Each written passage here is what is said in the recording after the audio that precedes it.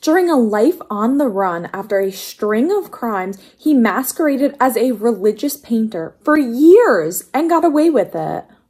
Hey everyone, welcome to Painting and the Past, a series where I paint something and talk about the past. Now, today I'm really excited because we're going to be talking about one of my favorite painters, Caravaggio. Caravaggio is an Italian Renaissance painter from the late 1500s to early 1600s. So there's really not much information about his early life, but we do know that his father was a steward and architect for the Marquis of Caravaggio, which is how he got his name. His real name's actually like Michelangelo. So this is actually really sad. When Caravaggio was six years old, the bubonic plague kind of just took out his whole family. He was left an orphan and was homeless so he like roamed the streets and by 11 he would relocate to Milan. By his late teens, probably around like 1588-ish, he was still poor, but he would move to Rome. This would also lead him to start producing and selling his own work, opposed to when he was an apprentice with someone else producing their work and having their name on it. And he would do this with an art dealer who would then go and sell his work. Obviously, they get commissions, but it's his own work he's selling.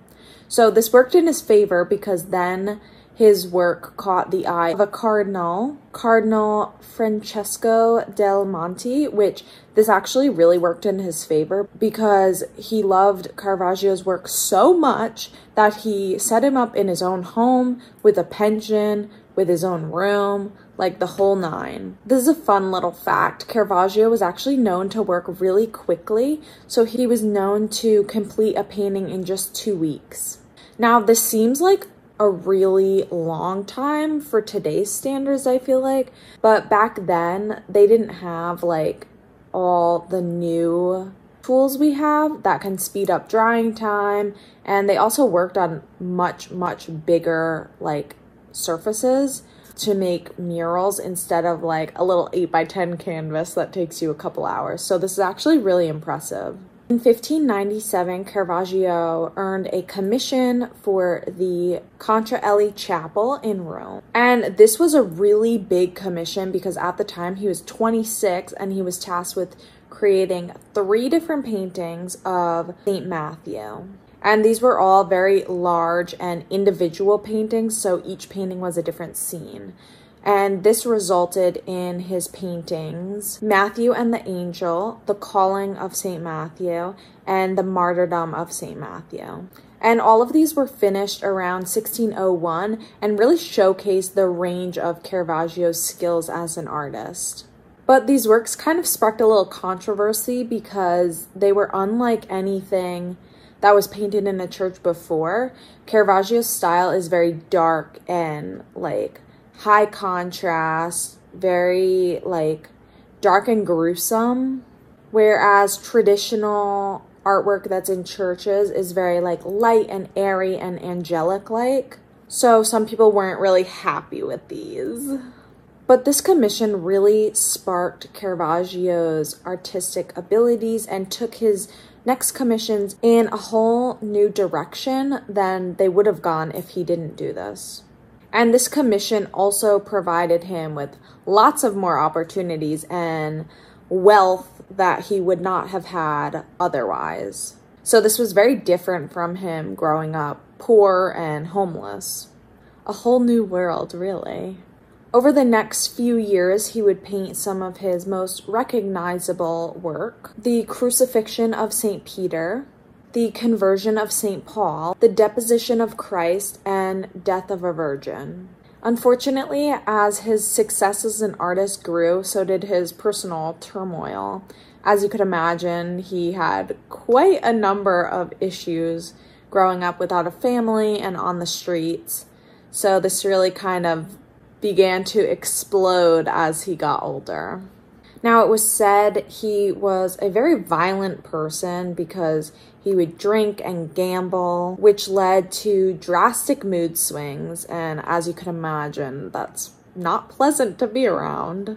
So, these issues would end up causing him lots of problems, and he would actually serve prison time in 1603 after he assaulted someone. And this would cause a chain reaction of more events like this. In 1606, he would actually kill a well known Roman pimp, so he ended up going on the run after that.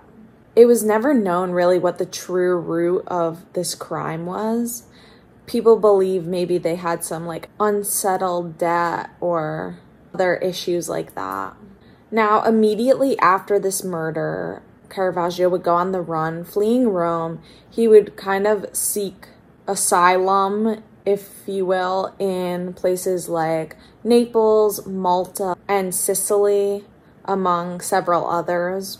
Oddly enough, though, because there was no internet, so who knew? If you didn't know his crimes, you wouldn't know. So fame followed Caravaggio because everyone heard of his artwork, but not his crimes. So even though he was fleeing to these different places, he was still receiving commissions and work. So in Naples, he painted the Madonna of the Rosary and the Seven Works of Mercy. And in Malta, he painted the beheading of St. John the Baptist. In Messina, he painted the resurrection of Lazarus and the adoration of the shepherds. And in Palermo, he painted Adoration of St. Francis and St. Lawrence. As you could imagine, being on the run for so long, Caravaggio turned it into a nervous wreck, which didn't end well for him because this caused even more outbursts of violent activity, if you will. And this would cause another string of assaults and murder. So at this point, he's literally a serial killer. like, honestly.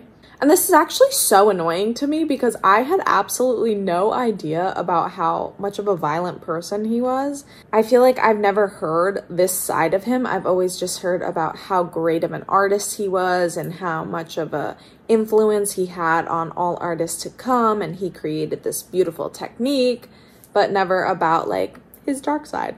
So it's kind of like gross to find out. In July of 1608, as you guessed it, another assault. He would attack Fra Giovanni, who was a senior knight in the Order of St. John in Malta.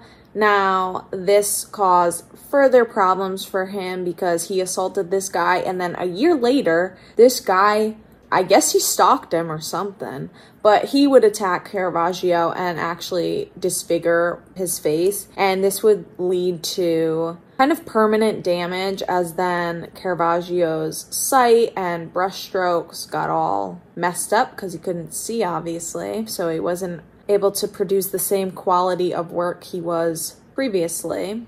And this is kind of evident in his paintings like The Denial of St. Peter and The Martyrdom of St. Ursula.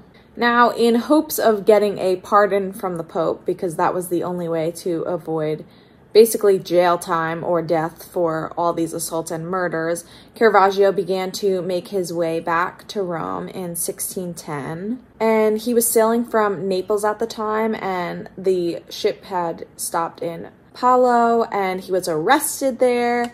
And now I'm a little confused how this even happened, but somehow he was released from the arrest. Not sure how, not sure if he escaped but he would continue his journey and end up stopping in Port Ercole, where he would die a few days later on July 18th, 1610. Now, for many years, the exact cause of his death remained a mystery, but in 2010, some scientists who studied his remains found lead in his bones, and they believe he could have died from lead poisoning. This is actually really interesting to me because older oil paint was made with lead. So I'm wondering if he maybe had inhaled it when he was mixing up his paint because back then you would take like a raw pigment and oil and mix them together. So maybe he inhaled like so much of that. They believe that like that's kind of why he like went insane from the lead poisoning. But honestly, it's like such a shame. He was such a nasty person. Even if it's from lead poisoning, like that's still not an excuse, like all the terrible things he did. Because his art was so like game changing for the time. Like no other artist really painted in such a dark manner. And even to this day, Caravaggio is remembered as one of the greatest Renaissance painters of all time.